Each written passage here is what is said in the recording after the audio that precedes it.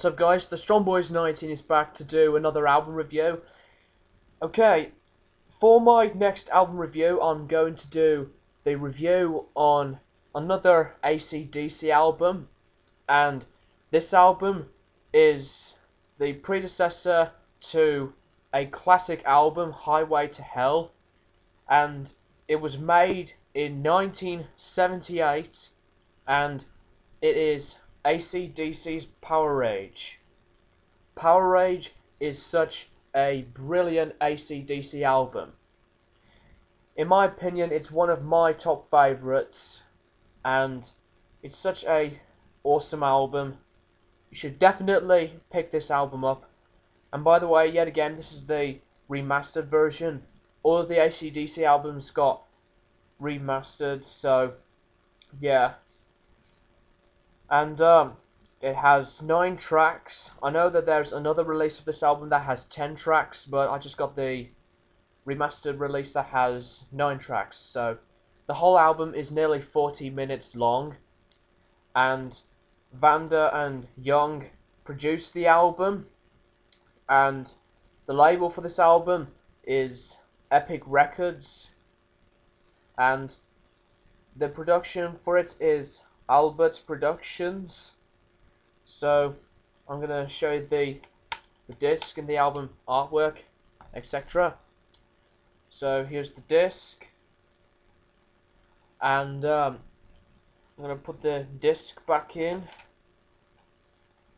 So um, here's the front, and there's the back, and um, here's the uh, CD inlay of what it looks like. And there's the booklet on top and there's the other side of the inside. So um, I'm just gonna show you guys the booklet right now. So the front is just the same as the album cover and the back has Bon Scott. This booklet design is just really cool and um, it just shows a lot of pictures and a lot of articles and some information inside. And um, I prefer AC/DC in the Bon Scott era than the Brian Johnson era. So that's just my honest opinion. So I prefer the Bon Scott era I really liked the Brian Johnson era, but I like the older AC/DC, in my opinion, back when Bon Scott was with the band before he passed away of alcoholism. So that's the whole booklet, and let's just get to the tracks right now. Rock and Roll Damnation. Rock and Roll Damnation is a brilliant track.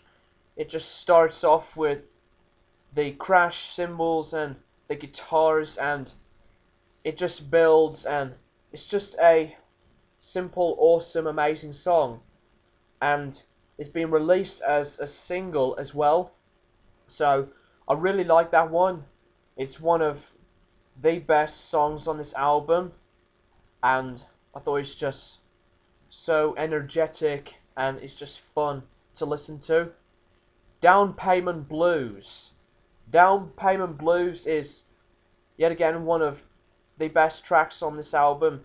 One of my favourites, just like Rock and Roll Damnation. It's just really cool, and uh, it is the longest track, and it's over six minutes long. So that is a long AC/DC track, and uh, it's a brilliant song from start to finish, and it's just yet again energetic like the first track. And if you haven't heard of that one, you should definitely listen to it. Give me a bullet. Give me a bullet.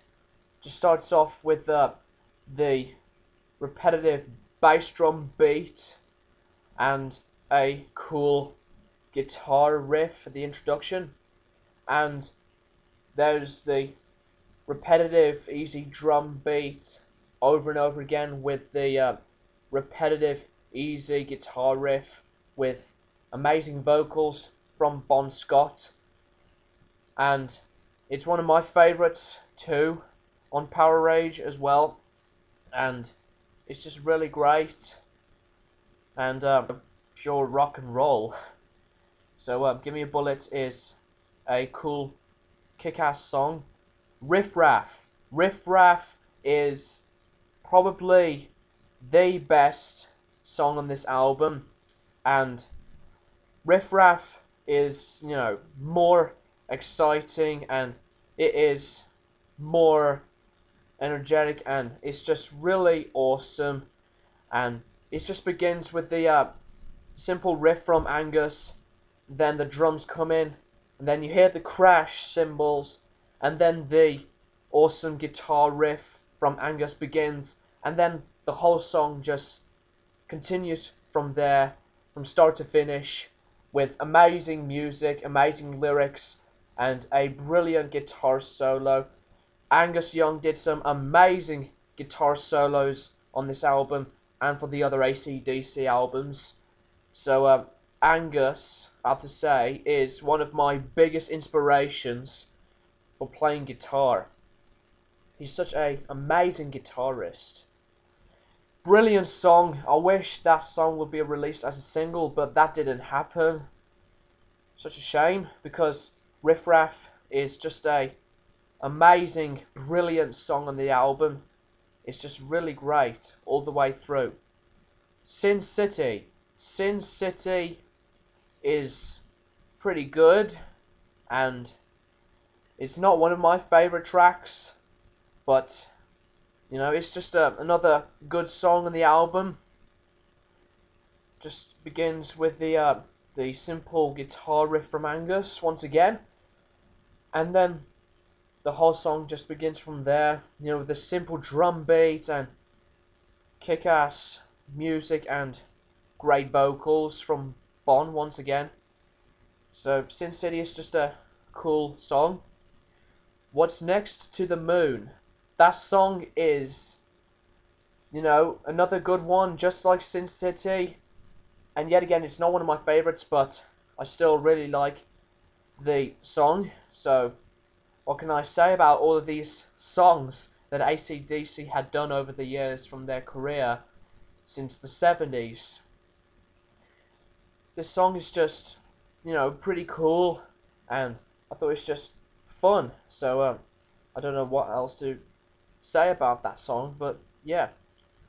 Gone Shooting. Gone Shooting is a brilliant song I mainly remember that song from Beavis and Butthead Do America, and that song appeared on the soundtrack as well.